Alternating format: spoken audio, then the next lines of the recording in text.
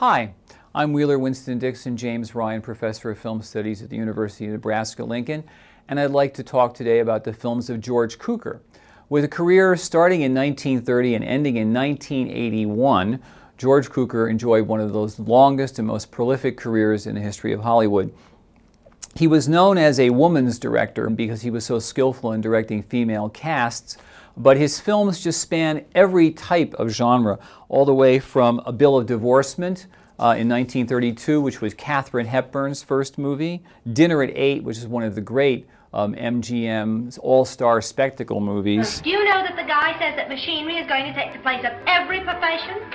Oh, my dear. That's something you need never worry about.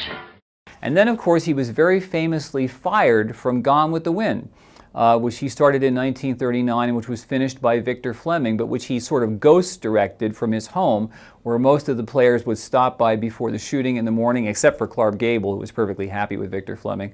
And the players would stop by his house and he would give them tips on how to shoot for that day. Um, and as he once said, if you can survive being fired from Gone with the Wind, you can survive anything.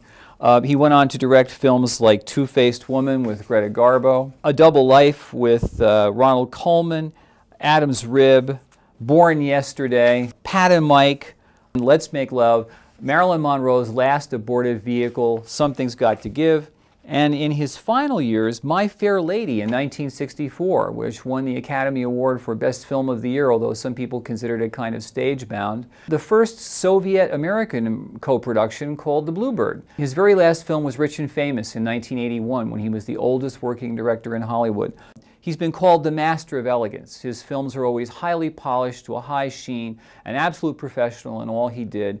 Uh, one of the first openly gay directors in Hollywood who basically did not, you know, make any apologies for this at all. And he brought a unique sensibility to American cinema at a time when the concerns of women, for example, were not as well explored as they might have been, but they were in the films of George Cukor.